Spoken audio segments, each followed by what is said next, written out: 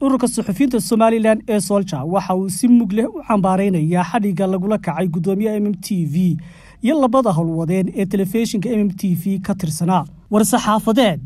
xalay oo taariikhdu ahayd lixda juun labada kun iyo afar iyo labaatanka waxaa magaalada hargeysa lagu xidhay saddex weriye oo ka tirsan telefishinka m m t v kuwaasi oo isugu jira maamulka telefishinka iyo howlwadeennada telefishinka m m t v waxaa ka mid ahaa maxamed cabdi ilig guddoomiyaha m m t v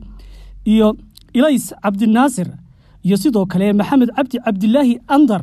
Xoguhu waxa ay sheegayaan in ciidamo xarunta telefishinka ay tegeen xilli ay ka socotay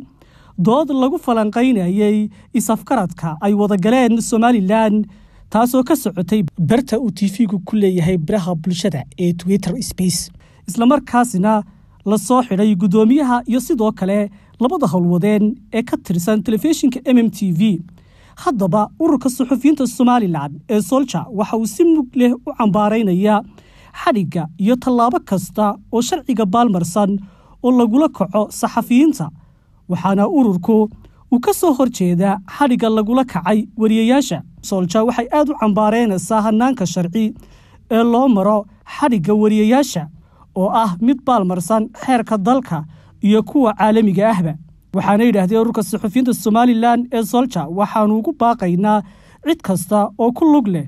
xadhigga in si deg dega lagu soo celiyo xorriyaddooda wariyayaasha xidhan rabiila axmed diiriye c b a t v hargeysa